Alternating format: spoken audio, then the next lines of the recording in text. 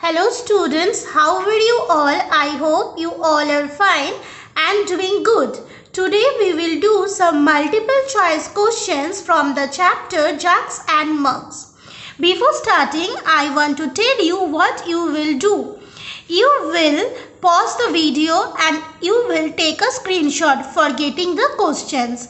After that, you will write the question, the four options and after that, you will tick the correct option and after completing all the sums, you will take the picture of the answers or your maths copy and you will send it to your respected maths teacher for checking. Okay.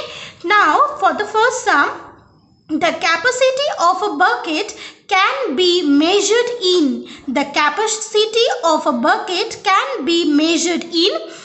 Options are centimeter, gram, kilogram, liter. Okay.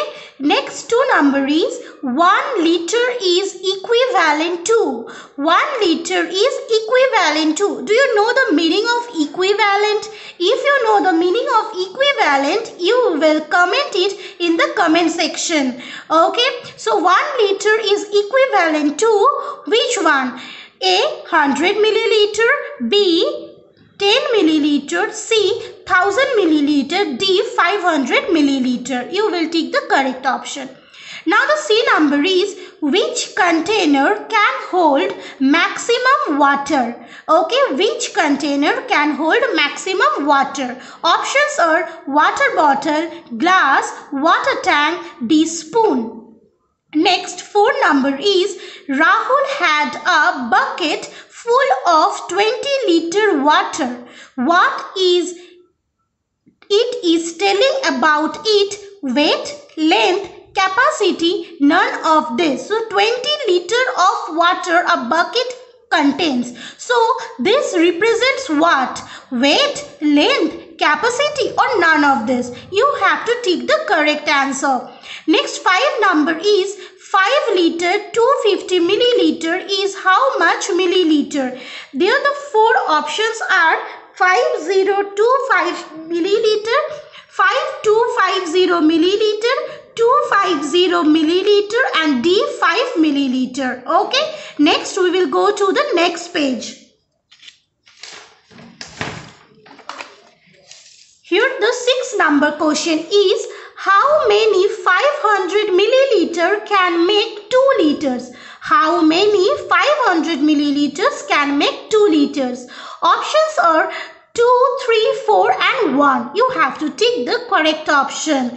7 number question is half liter. Half liter means how much milliliter? Options are 200 milliliter, 500 milliliter, 400 milliliter, 250 milliliter. Okay.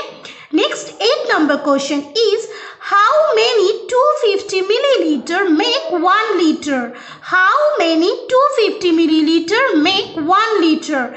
The options are 3, 2, 1 and 4. You have to tick the correct option. Next 9 number question is 5 kiloliter equals to how much liter?